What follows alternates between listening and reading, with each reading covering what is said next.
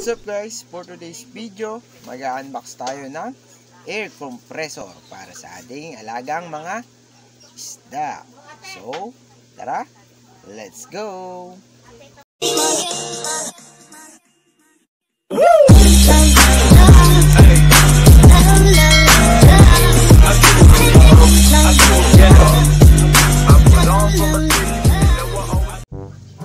Guys, ito na yung in-order natin sa Shopee. Yan. So, bumili tayo ng anti-chlorine. Tapos dalawang cone feeder. Yan, para sa goldfish natin. Tapos itong air controller. Ito, bali ito is 7. Uh, 7 na may adjustan ng flow ng hangin. So, tapos itong air compressor na Hilea, Halea, wala kayo kung anong gusto nyo tawag dyan. Ito ay 25 watts. 25 watts. So, open natin to guys. Tapos, testing na rin natin kung gaano siya kalakas. So, ito, sinama ko na lang to. Yung, bumili rin pala ako ng ultimate sinking pellets no? Nasalin ko na kasi walang pagkain yung goldfish natin. So unbox na natin tong air compressor natin. So tara let's go! So unbox na natin guys kung ano yung laman nya yan. so ayan. Ito bubungad sa atin yung kasama nya na eh ewan ko kung tawag dito air tube. Yan, air tube na. Kaso yung ano nito, walang ano, walang adjustan kaya bumili ako nitong isa. Para kung di natin gamitin yung iba, i-close lang natin. Tapos i-open lang natin yung mga gagamitin natin. So, kaya bumili tayo ng extra nito. Saka mas marami to. Ito 7, ito 6. Yan. Ang hinabol ko kasi dito, yung yan, adjustan airflow niya. Yan. Ito na yung ito pa, manual. Yan, manual. Tapos, meron siyang kasamang hose. Yan. Sa kalaki. Tapos, yung pinaka-compressor. Yan, ganyan lang siya kaliit guys. 25 watts to. Sing laki ng palad. Yan. Yung lapad niya, sin laki ng palad. Pero, ayan. Oh, ito yung kamay ko.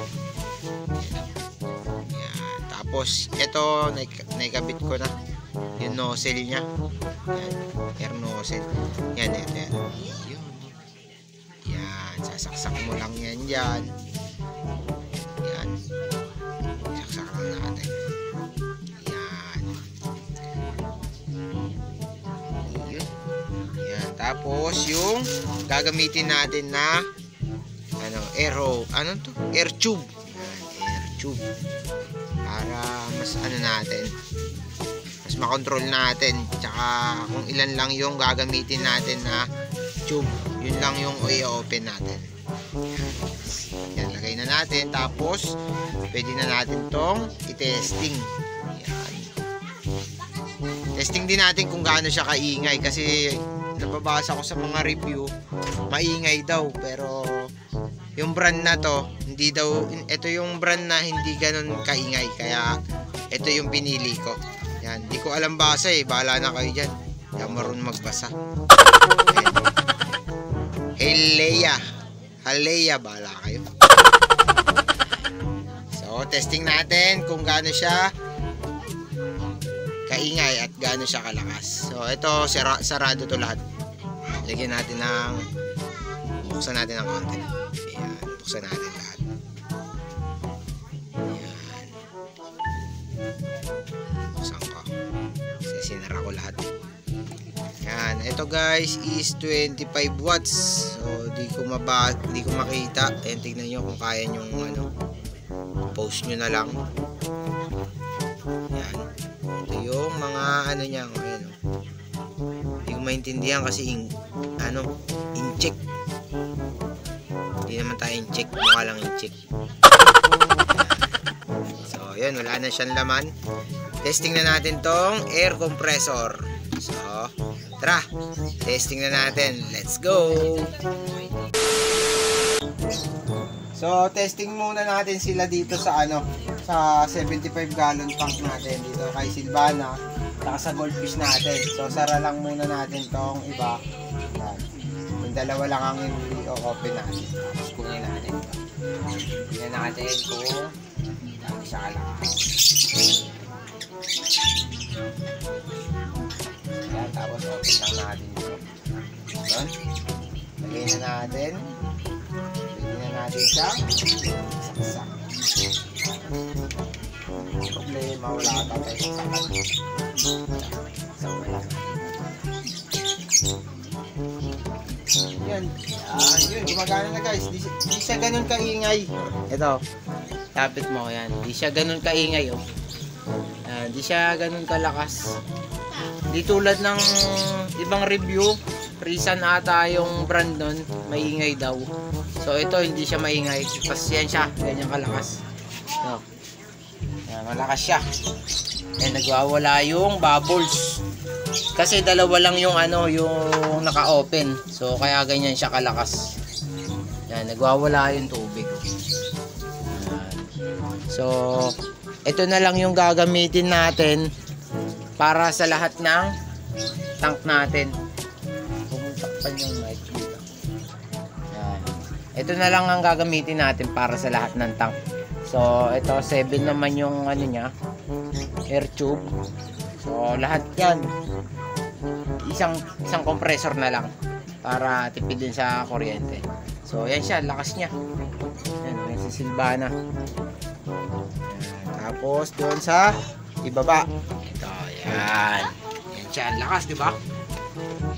Lakas ng bubbles niya. So, all goods. Tapos, di pa siya maingay. Yan, lalapit ko. Diba? Hindi siya ganun kaingay tulad ng ibang brand. Saka maganda kasi yung pinaka-paa niya. Goma. Kaya siguro hindi siya maingay. Pero yung pinaka-motor niya di maingay eh. All goods guys. Alright, yan sila Silvana. So yun guys, tapos na natin i-set up yung ating air compressor. So ito yung tube adjuster niya. Yan. Meron lang tayong isang hindi nalagyan. So sinara natin to. Yan. So yan, kompleto. Anim.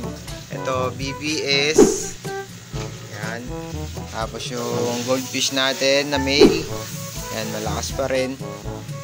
Tapos yung goldfish fry. Yan, meron dyan fry. Tapos, para sa tubipex. Tapos, dito sa flower horn, kay Noo. Ayun. Lakas, diba? Tapos dito, kay Silvana. Yan, lakas. Yan, lakas. Yan, oh, kita nyo, lakas ng air bubble niya. Tapos, dito sa goldfish natin sa 75. Yan.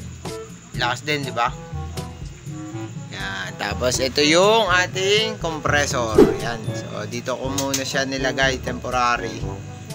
Yan. Hindi naman siya ganun kaingay. Saktuan lang. Yan o. Okay, okay. So, yan siya. Tapos, ang sinusuplayan, BBS, 20 gallons. 20 gallons sa baba. Tubipex. Goldfish fry. Tapos itong dalawang 75 gallon. So, ayan. Yun, oh. Yan, malakas yung ano natin. Boots yung air compressor natin na 25 watts. So, yan guys. That's it for today's video. Thank you for watching. Bye! Yun, oh.